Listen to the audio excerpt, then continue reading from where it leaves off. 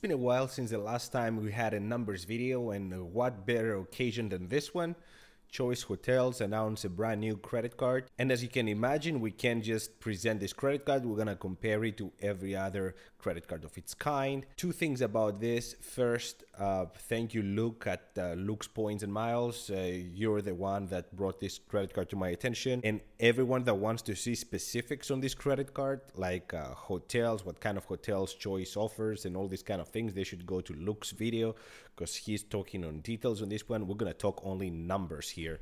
Uh, plus, he's talking about both credit cards, the existing non-annual fee credit card. The only one that we're gonna see in today's video is the annual fee credit card. So, a couple of things about hotel credit cards. As long as they have an anniversary night, then you can bet uh, it's a keeper.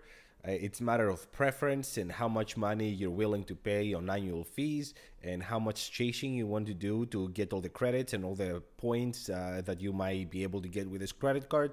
Uh, also, what kind of hotel chain serves the areas you're typically visiting.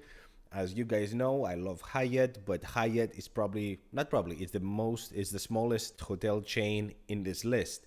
So keep that in mind. It, it, preference uh, needs, everything changes. And of course, I have the expected uh, points value on this video, but this is just an indicator. Keep that in mind. For example, Hyatt, I have it at 1.8 cents per point, and I regularly get 2.5 to 3.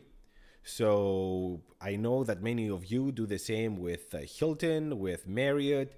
Uh, I did bump up a couple of hotel chains we will see as we go through the presentation, uh, but keep that in mind. So it really depends on your specifics.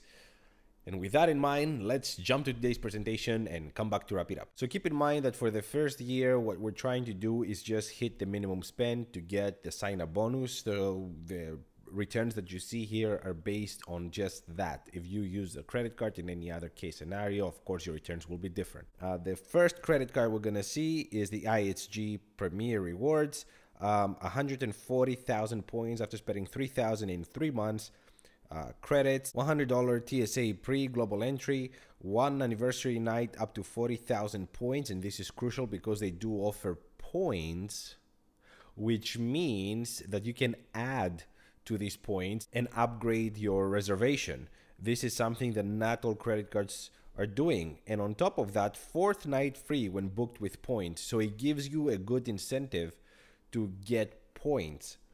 Um, no other credit card is doing this in this list. So, yeah, we will see how this affects the numbers later. Uh, memberships, Platinum Elite, this is high, no lounge access, multipliers, 26 um, IHG, uh, 5x on gas, travel, restaurants, 3x on everything else. The return on spend for the first year is 28.11%. 28. The Marriott Brilliant, 95,000 after spending 5,000 in three months. That's a whole lot less than last time's video. That was 150,000. $300 dining credit uh, which of course is $25 a month. So it doesn't make sense to me, but I know many of you love it. Uh, a uh, hundred dollar property credit, uh, minimum two nights at the very expensive hotels like Ritz Carlton, etc. One hundred dollar global entry TSA pre, one anniversary night up to eighty five thousand points. This is pretty decent. Marriott Platinum, which is somewhere in the middle, uh, plus 50% more points when you uh, redeem on Marriott. Lounge access, priority select, up to two guests, no restaurants, typical American Express. Uh, multipliers, 21x uh, on Marriott, 3x on airlines, restaurants uh, worldwide, rentals, American Express companies, partner companies, 2x on everything else. The return on spend is 16.67, 17%. The World of Hyatt, 30,000 points after spending 3,000 in three months. We're not gonna get into the whole bonus uh, scheme here because it's like 2x on everything else up to 30,000 points, um, which is not a good way to spend your money. Uh, one anniversary night up to category four. Discoverist, uh, is the membership, which is low. There's no lounge access. Uh, 9x on Hyatt, 2x on travel, 2x on gym, 1x on everything else. The return on spend is 21.92, so 22%. I have to say here that the return on spend on the spending is based on an average. So I'm not taking the highest case scenario here. For example, in this case on Marriott, I'm not going to say 9x, therefore the $233. It's for travel, for example, it would be 9x plus 2x, in this case plus 1x divide by 3 so that gives me a much more moderate multiplier which I think is more realistic. We're looking at the Hilton Aspire, everybody's favorite and my next credit card most likely 150,000 points after spending 4,000 in 3 months, $250 airline credit for incidentals, $250 resort credit, $100 on property credit. That's again for expensive hotels like the Waldorf Astoria and Conrad. One anniversary night a weekend anniversary night, so Friday, Saturday, Sunday, and there's no limit on what kind of hotel it can be, It doesn't matter. Diamond status, which is the highest. Priority Pass Select, up to two uh, guests, no restaurants. Again, typical American Express. Uh, the multipliers 34x on Hilton, 7x on uh, airlines, rentals through American Express uh, partner companies. 7x on US restaurants. This is something that really annoys me. It should be worldwide. This is a travel credit card, and they do have all these properties, almost 7,000 properties around the world. So 3x on everything else. Return on spend 30.47. 30.47. Incredible. Parenthesis here, it's important to see how many properties each hotel has. So we're looking that all of them basically are about six to 7,000 properties and only Hyatt my personal favorite is only about a thousand. So, yeah. And now it's time to see the new kid in the block, which is the Choice Privileges Select. And in this one, we're looking at 90,000 points after spending 3,000 in three months. There's a 30,000 point credit annually, so it's the same like IHG. They give you points instead of a free night up to a certain specific category. So in this case, you could also add points and possibly upgrade your stay.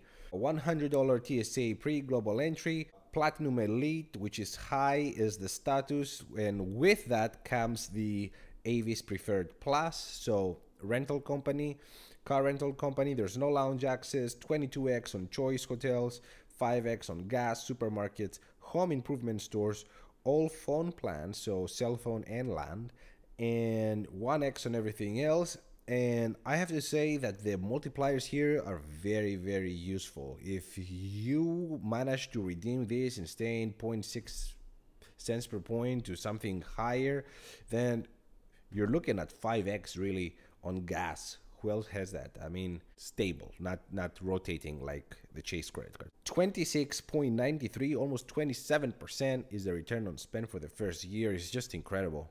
But as we know, what happens in the first year is one thing, what happens in the second and every year after is another. And we're looking always to apply our imaginary budget of $12,000 equally spread between travel, restaurants, gas, and groceries.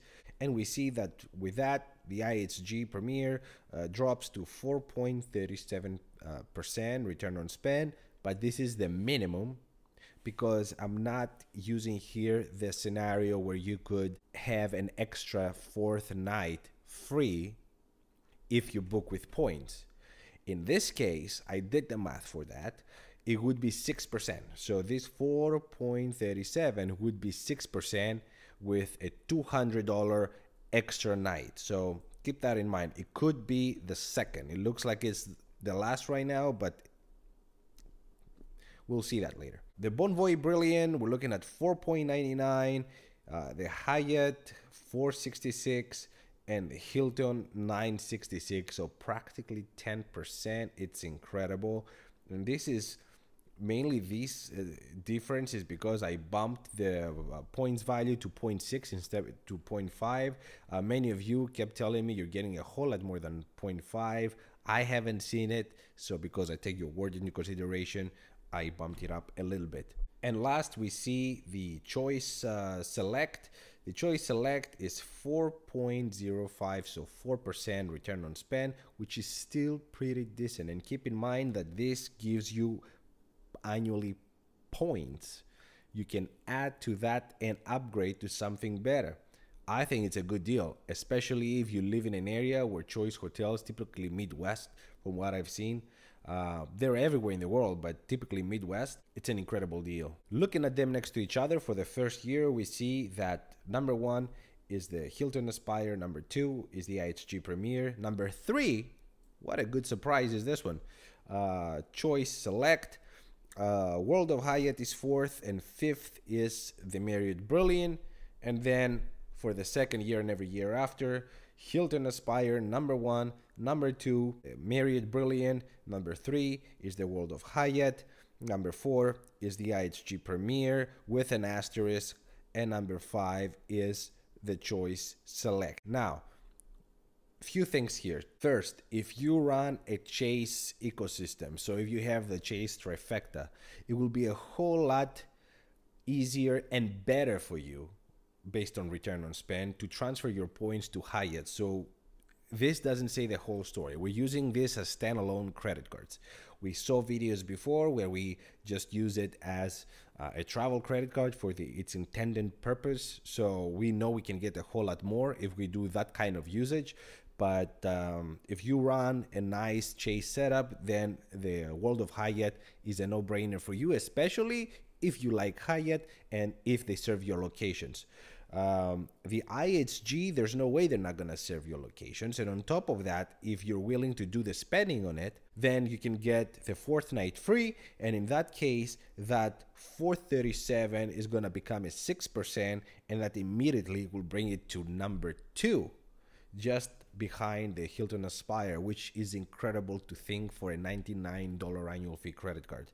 It's just incredible. The one thing I really like is that Wells Fargo seems to be adding more and more credit cards lately that interest me like this choice uh, select is actually a very decent credit card. I already have uh, the Bilt um, and i've been very happy with it. Actually i have a bunch of points just paying rent with that. Um, so keep that in mind. That wells fargo secretly keeps coming up. I don't like wells fargo at all. I mean i think it's worse than even capital one uh, but that's my personal opinion. I'm based on customer service and based on personal experience. But I see them coming up, and that creates competition. And competition, as we know, is very good for us consumers. But let me know what you guys think. Uh, what hotel chain do you like the most? Which of these credit card makes the most uh, sense for you? Thank you so much for watching. Until the next one, ciao.